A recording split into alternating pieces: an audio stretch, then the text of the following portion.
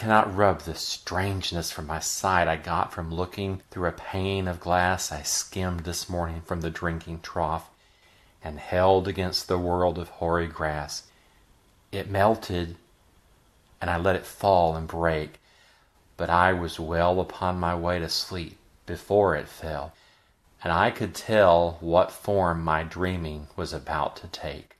Magnified apples appear and disappear stem end and blossom end, and every fleck of russet showing clear.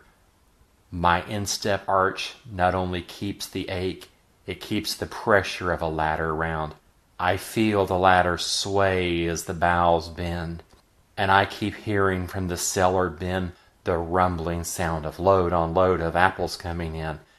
For I have had too much of apple picking. I am overtired of the great harvest I myself desired. There were ten thousand thousand fruit to touch.